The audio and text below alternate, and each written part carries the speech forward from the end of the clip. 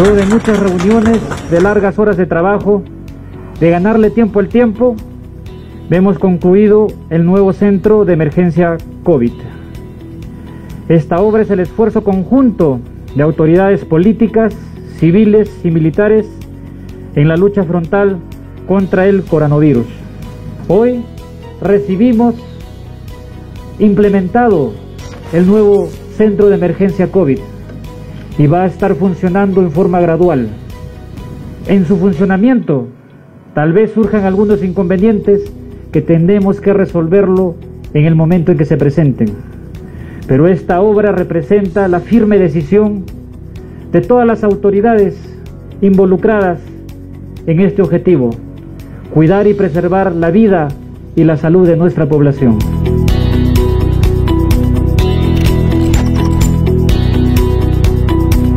Hace poco inauguramos nuestro centro UCI, que está al fondo y que está funcionando y que está con pacientes. Y hace días inauguramos también el centro de aislamiento de Cerro Juli, que actualmente tiene más de 67 personas, entre varones y mujeres que también están recibiendo su tratamiento. Y hoy día de hoy inauguramos el centro de emergencia COVID, que lo tienen acá presente, que tiene todas las condiciones técnicas de cualquier centro de emergencia del mundo, con todo lo que indica los reglamentos, y que ahora vamos a hacer uso. Hoy día mismo vamos a hacer uso. Por eso que era muy importante terminarlo. Sé que ha sido difícil para los ingenieros, para los obreros que han trabajado noche y día, pero ahora lo entregamos al pueblo del equipo.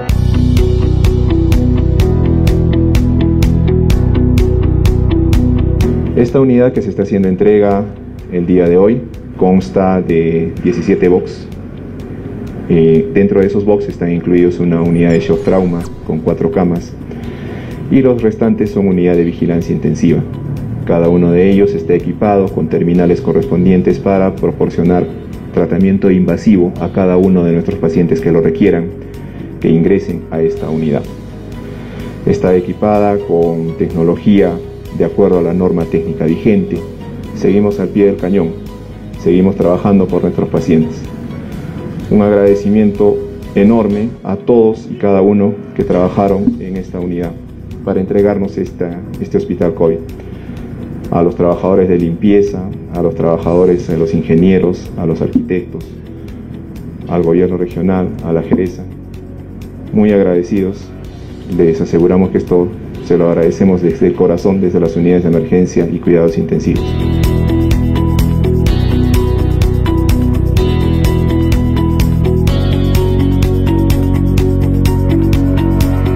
querido pueblo de Arequipa, hay un gran porcentaje que está cumpliendo con todas las recomendaciones que se dan, que ustedes las conocen. Ayúdennos. Lavado de manos, distanciamiento social, aislamiento, obligatorio hoy, mañana voluntario y responsable. Son las principales armas que tenemos para frenar este nuevo coronavirus. Pueblo de Arequipa, todo lo que hacemos lo hacemos por cariño. Lo hacemos porque queremos demostrar que Arequipa, Arequipa sí puede. Y desde acá al presidente de la República le digo, presidente, también queremos que nos apoye. Conversamos hace días y usted nos dijo que nos iba a apoyar con ventiladores. También le invité para que sea parte de la inauguración de este centro de emergencia. Sé que usted está trabajando por Arequipa, por el Perú. Una vez más le pedimos también ventiladores para Arequipa. Sé que por nuestra parte estamos comprando, pero sería necesario también que usted nos envíe. Arequipa, confía en usted. Y todos juntos tenemos que luchar. Acá no hay división, unidad. La unidad va a derrotar al coronavirus acá en el Perú. Todos juntos. Hermanos, muchas gracias por todo.